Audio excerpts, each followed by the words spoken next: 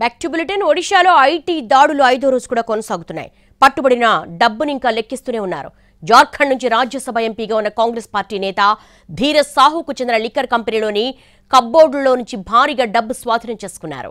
నలభైకి పైగా మిషన్లలో ఆ డబ్బును లెక్కిస్తూనే ఉన్నారు. కంటిన్యూగా లెక్కిస్తూ ఉండడంతో మిషన్లు కూడా మొరాయిస్తున్నాయి.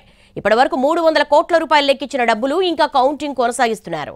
ధీరజ్ సాహుకు చెందిన బౌద్ధ్ డిస్టిలరీతో పార్ట్నర్షిప్లో ఉన్న బల్దేవ్ సాహు గ్రూపు కంపెనీలో ఇవాళ ఉదయం నుంచి కూడా సోదాలు చేస్తున్నారు. మరింత నగదును స్వాధీనం చేసుకున్నట్లుగా తెలుస్తోంది.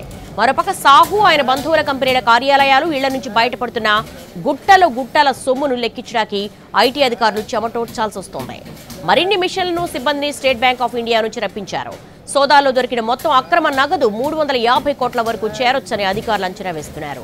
అయితే ఐదో రోజు సాహు కంపెనీలపై జరుగుతున్న ఐటీ సోదాల్లో సంచలన విషయాలు బయటపడుతున్నాయి.